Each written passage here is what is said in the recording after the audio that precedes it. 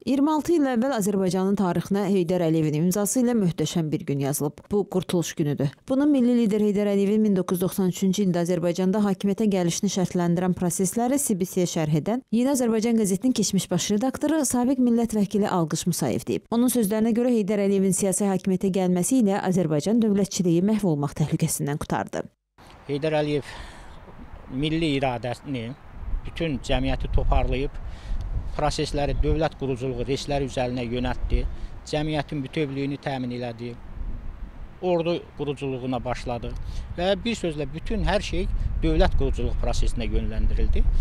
Alqış Musayev bildirib ki, dövlət quruculuğu prosesini uğurla həyata keçirmək üçün iqtisadi baza formalaşdırılmalı idi. Milli lider Heydər Əliyev əsrin müqaviləsinin imzalanmasına nail olmaqla bu tarixi vəzifəni də uğurla həyata keçirdi. Sabiq deputat hesab edir ki, milli lider Heydər Əliyevin hakimiyyətə gəlişi ötən əsrin əvvəllərində yarımçıq qalmış tarixi bir missiyanın tamamlanması ilə nəticələndi. Həmin dövrdə beynəlxalq şərtlər buna imkan vermirdi. Beynəlxalq güclərin, beynəlxalq dövlətlərin Cənubi Qafqazda müstəqil dövlət görmək planları, iqtidarı və həvəsi yoxdur. İkinci tərəfdən o prosesi öz üzərinə götürüb dövlət quruculuğu prosesini başladan və onu sona yetirən xarizma, lider, təcrübə, dövlət, təcrübəli dövlət adamı yox idi.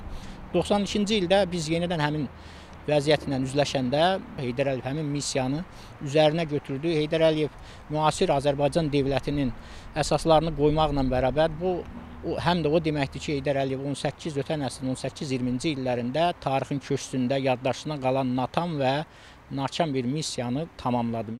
Alqış Musayev bildirib ki, milli lider Heydər Əliyevin hakimiyyətə gəlişi Azərbaycanda yeni bir tarixi dövrün əsasını qoyub. Bu Azərbaycan tarixinin ən mühüm hadisələrindən biridir. Hər bir azərbaycanlı bu mühüm hadisənin tarixin siyasi məzmununu, əhəmiyyətini dərindən bilməlidir. Fərəd Sabir qızı Nailə Həsənova, Naib Hacıyev, CBC.